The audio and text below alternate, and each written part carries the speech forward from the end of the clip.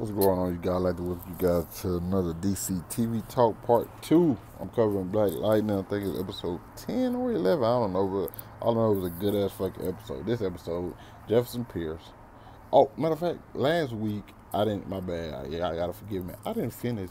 I, I missed like the last two minutes of Black Lightning, and I didn't realize that until I seen the beginning of this one because it's all like stuff from last week where we showed the vice principal actually working with the ASF, and I'm like, I didn't fucking see that. I didn't talk about that in my review. Why the fuck? Then I went back and looked at the recorded episode. I'm like, oh, you had two minutes left. That's why the fuck you didn't talk about in your review. I didn't even notice. I guess the review was later, or I just stopped watching. I don't know what the fuck happened, but either way. The vice principal is a part of ASF, which is, is a big fucking deal because she's been working close to Jefferson Pierce this entire time. I didn't. I just thought she just was digging it and kind of feeling it. I still think she is. You know, what I'm saying? I think this kind of why she did what she did and why she like you see like the regret and, and, and the hesitation when she was had to do certain things. And this episode,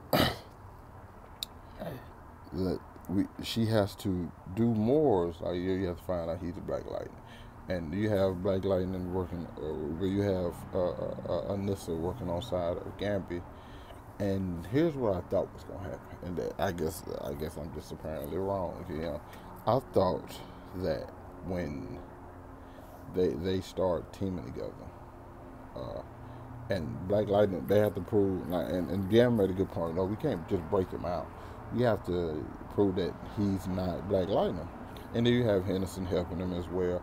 But here's my thing: when when they was I thought they were gonna do something to like show like oh no we, we got attacked last night. And the person who did attack the used lightning. That's why I thought they was gonna use Jennifer to like show like oh they used lightning. The lights went out and the person was using lightning to attack us. I thought that's how they're gonna uh, uh, bring Jennifer uh, into the fold but that was how they did Gambi just had to come up with a hologram that he was able to use to, to get people to see Black Lightning why Jefferson in jail for being framed by the, the, the, the, vice principal.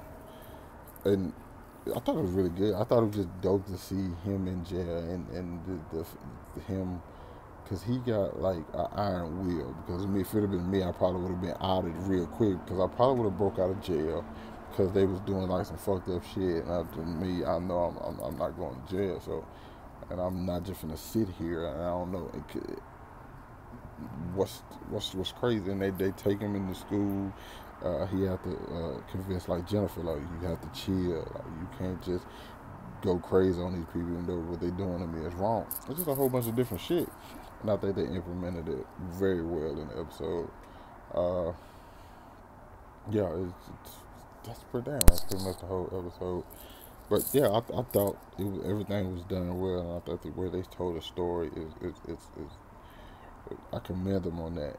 But the big thing for me coming out of this episode, one thing is that Gambi and Black Lightning are not back together. Even though I probably, if I was him, I still probably wouldn't trust Gambi because Gambi pulled some shit for like 30 years. Also, I kind of wondered like what are they doing with the uh, with the uh, people they've been had them for 30 years? Like what what are they doing with the bodies and what's their end goal with them? Uh, that was another thing I, I, I was wondering. But the but the biggest thing was like the, the preview for next week because you see Lala, you see Tobias, you see Black Light, and you see everybody seem to be going at it next week. And I don't think that's not even a season finale. So who knows what happens there? But yeah, this week was definitely a very good episode. I just, I just like the the the, the like the, the, the depth they gave each character and everything. And this is trying to uh, hold back, Jennifer trying to hold back, Black Lightning holding back, not wanting to just break out, the relationship they have with Gambi. Uh, they didn't really just go deep into it with the mother, and they didn't even they didn't even have anything going on with the villains. But it's still you have the corrupt cops. You have Henderson taking trying to take down people in the system. It was one point where I really thought that Jefferson was gonna tell him like, "Yo, I'm Black Lightning," but he he held that information I'm just like I just can't. I don't I don't know. I should probably at, at some point you gotta just wonder like, um, can you trust Henderson? Because Henderson has done some like some stuff to help you. Like, you wonder. Um, I think eventually Henderson will find out he's Black Like I don't know if it, I don't know if that happens in the comic or not. I'm just going off what I see from the show and how they leave stuff going on in the show. But other than that, very good episode. Very one of my favorite episodes of the season. I have to say. Uh, like, comment, subscribe. Let me get. Let me know what you guys thought about that. I'm gonna catch up with you guys later. I gotta hit to the movies, man. I gotta go see Cock Blockers. I know it's called Blockers, but let's be honest, it's a picture of a chicken right there. Being blockers, cock blockers. Peace out.